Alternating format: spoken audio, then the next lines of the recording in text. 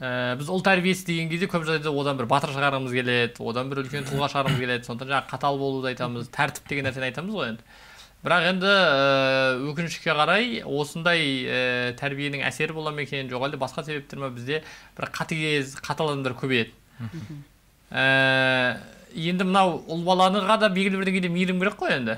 Ол да бір ыыы былайша айтқан кезде ә, мұқтаж адамды немесе бір әртүрлі адамдарды көрген кезде жанашу керек басқа бір бауырына көмектесу керек бір қыз балаға деген мейіріммен махаббатпен қарау керек деген сияқты нәрселер бар. Осы сезімдерін қалай дамытамыз негізі? Осы сезімдер қалай дамиды жалпы? Сіздің ата анаңыз қатал болды ма?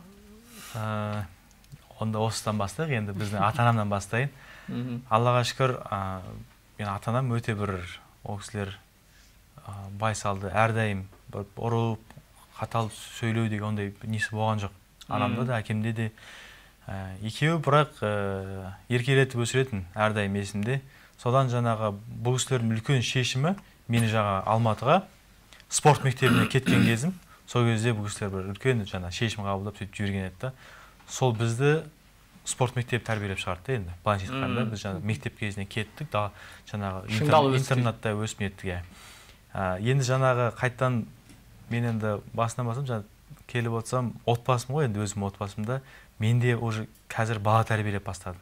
Мен де жаңағы өзім бір отбасының отағасы болып отырмын да. Сонда аллаға шүкір мен бір нететінім келіншегімнің осы бала тәрбиесіне деген көзқарасына қуанамын да. Осы уақытқа дейін жаңағы бір қатты соған бүйтіп оқы былай тәрбиеле былай тәрбие деп айтпағанмын бірақ өзі жаңағы ә, ұстаған ұстаған бағыты. Қызыма және бүйтеді келіншегім қызыма бүйтеді «М, генийсің сен дейді. Қызыма сен генийсің күнде жаңа үйде отқанда мариям гений мариям андай сөйтіп жаңағы қызымды сондай бір өзінің қазірден бастап бағытын жаңағы өзгертіп жатыр да сөйтіп мен келемін да мен қызымнан сұрайтыным тек қана қазір жаңағы ә, ініңді жақсы көр.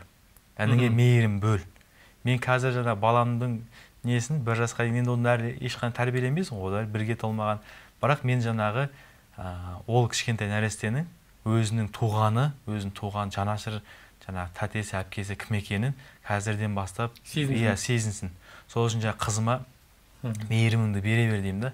Күнде жаңағы мариям бір уақыт кел бүйт ибрахим сүй сүй жаңағы сүй көтер бірақ жаңағы аллаға шүкір қызым да жаңағы жақсы көреді нетеді сол мейіріммен өссе ертең нәресте ол жаңағы Өзі де мейірімді. өзі де иә өзі де мейірімді болып содан кейін ол жаңағы қыз болғаннан кейін ол өзін еркек қылып сезініп ертең өскен кезде де ол жаңағы өзінің бір мейірім жанашыр жаңағы тәтесі ретінде қарап әрдайым қорғауға дайын тұрады да.